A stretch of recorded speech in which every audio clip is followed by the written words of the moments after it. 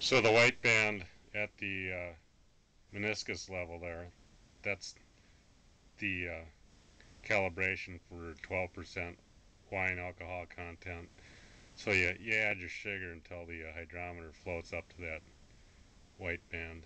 And then you'll, uh, if everything goes right and the fermentation goes completely to 12%, it'll sink down to right at the green level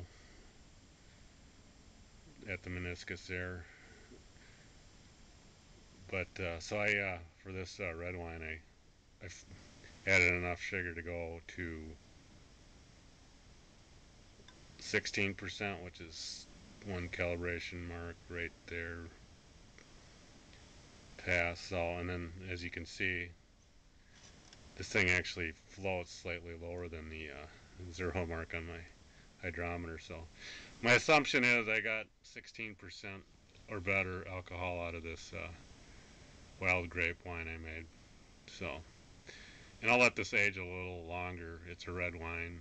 The tannins and such need to uh, react with the other uh, components of the wine so you get a better taste.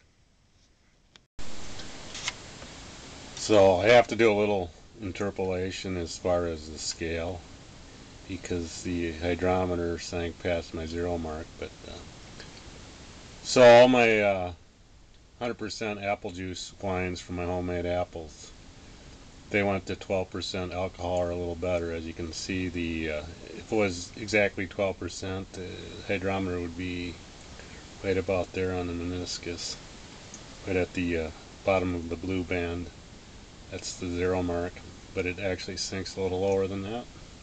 So my assumption is it's slightly stronger than 12% alcohol. I'll say 13, 13.5%. But, uh, so all my uh, 100% apple juice, homemade apple juice wines went to this. So 12% or better. So I'm happy with that.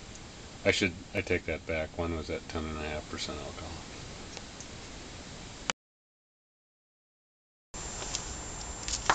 my bottled wine ready to send off as Christmas gifts. I tried some of my own poison here. I, I thought it was decent, but uh, let some uh, family members try it and get some feedback on what they think. So, a lot of labor here, but had some fun doing it. So, if I do it next year, I'll, I'll probably try to do it a little bigger, a little more efficient so I won't spend as much time hand grinding the apples in a kitchen blender. That was the uh, very labor intensive.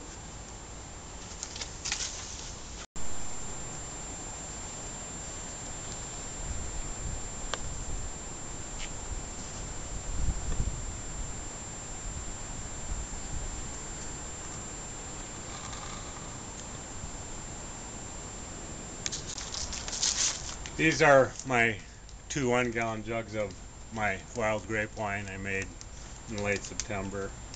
I just I picked the wild grapes along the uh, banks of the pond out back.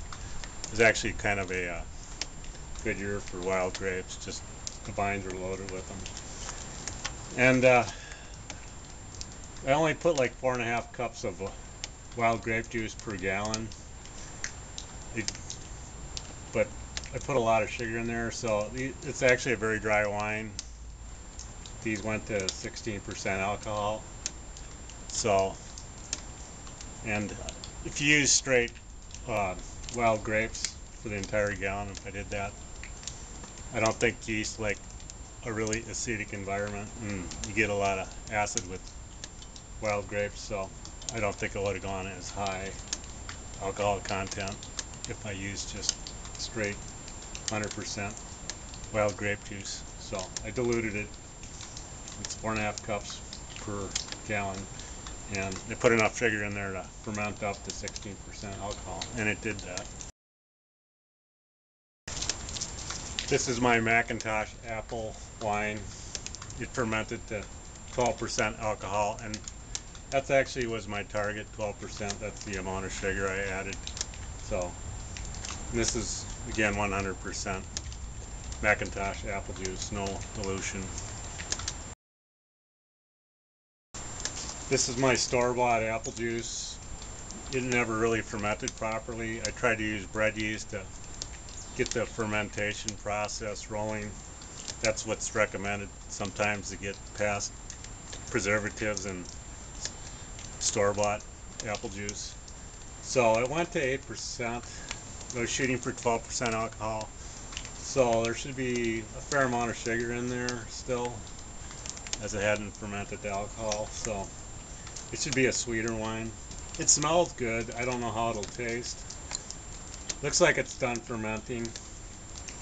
But I won't really want to drink it until I add some uh, preservatives in there, just to be on the safe side. I don't get an active yeast. Just to give some idea of the uh, color and clarity of the wine. This is my uh, apple juice wine, 100% McIntosh apple juice. We'll compare the uh, apple wine. This is my 100% McIntosh apple wine with my four and a half cups of uh, wild grapes per gallon of it. Let's see what this looks like.